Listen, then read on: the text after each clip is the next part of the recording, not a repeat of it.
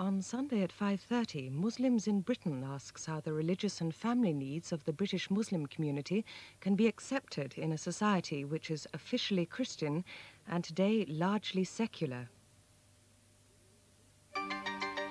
Comedy on Channel 4 this summer takes on a new flavour with Tandoori Nights, when the jewel in the crown fights it out to the last chicken madras with the Far Pavilions in South London.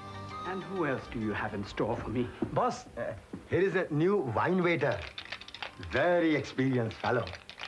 Name is Hansamia. I am Monkey, you are organ grinder.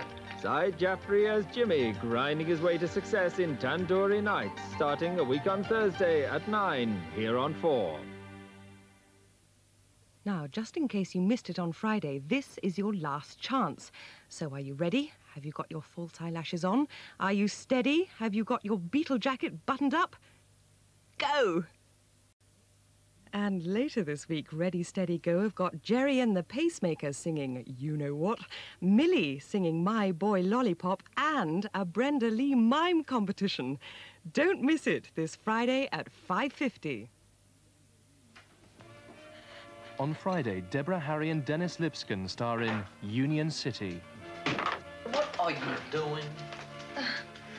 Somebody was at the milk again last night. Figure it out, Lillian. It's one of our neighbors. Harlan, you're so suspicious. Suspicious. But a seemingly trivial domestic incident leads to sudden violence when the thief is discovered. Every night, keeping me and my wife awake. Your wife? You son of a bitch! The paranoia begins in Union City this Friday at 11.50 on Channel 4.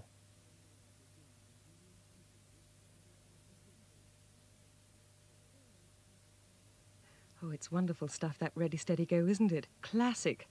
Still, I suppose it's time to put the 60s bits and pieces back in the cupboard, walk the dog, and shut up shop for the night. Never fear, we'll be back tomorrow afternoon at 2.35 with a film called Jericho. But that's quite enough trumpet blowing for tonight, I think. So from me, Ali Ballantyne, on behalf of us all at Channel 4, good night, sleep tight.